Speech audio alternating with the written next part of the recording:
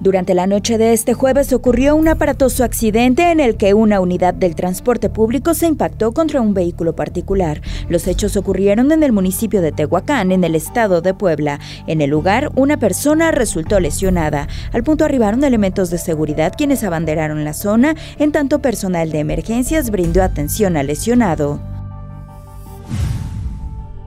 Agentes de la Policía Estatal rescataron a un hombre en la colonia Guadalupe Chachapa en el municipio de Amozoc de Mota, en Puebla. El sujeto que responde al nombre de Miguel Ángel fue retenido por los pobladores para después golpearlo tras presuntamente haber cometido un robo. El hombre quedó a disposición de las autoridades ministeriales se implementó el operativo Grucopa en coordinación con corporaciones de la zona metropolitana de Puebla, en el cual se realizaron recorridos por diversas juntas auxiliares del municipio de San Pedro Cholula, esto con la finalidad de garantizar la seguridad de la ciudadanía.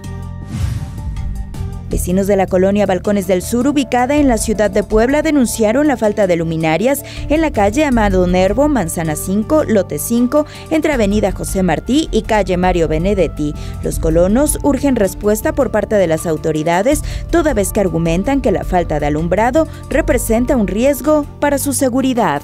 Abigail Villegas, Noti 13.